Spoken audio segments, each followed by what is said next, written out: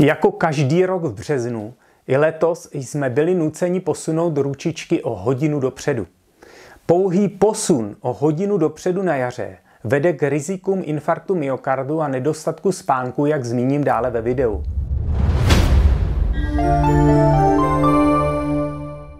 Astronomicky správný zimní čas od listopadu do března zaručuje, že v poledne máme slunce přesně nad hlavou.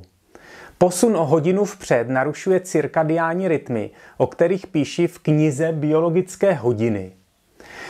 Snižuje příznivý vliv světla během stávání a podílí se na změnách nálad. Ranním světlem se stimuluje kortizol, stresový hormon, a účinek ranního světla působí příznivě v mozku na amygdalu, část limbického systému ovlivňující náladu. Vědci zkoumající spánek i lékařské společnosti jako americká lékařská společnost se vyslovují pro trvale nastavený zimní čas, jako existuje již například v Mexiku. Mnoho lidí si přeje letní čas, protože po práci mohou získat hodinu světla navíc pro své aktivity jako sport nebo zahradničení. Světlo ale potlačuje produkci melatoninu, spánkového hormonu. U dospívajících navíc dochází k posunu melatoninu, takže dvojí efekt vede k poruchám spánku a nedostatku spánku.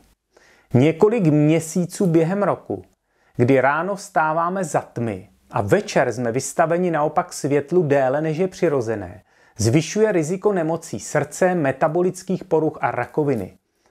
V zajímavé analýze z roku 2019, zahrnující 115 tisíc osob, se zvýšilo riziko infarktu myokardu již první týdny po změně času na jaře. Změna času vede k nedostatku spánku, zvýšené aktivitě sympatiku se zánětem a zvýšením krevního tlaku a zrychlením tepu.